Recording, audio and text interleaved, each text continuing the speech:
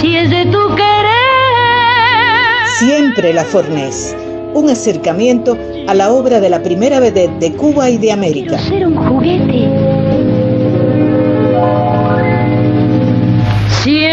Por el canal Clave, el más musical de la televisión cubana, los miércoles, Siempre la Fornés.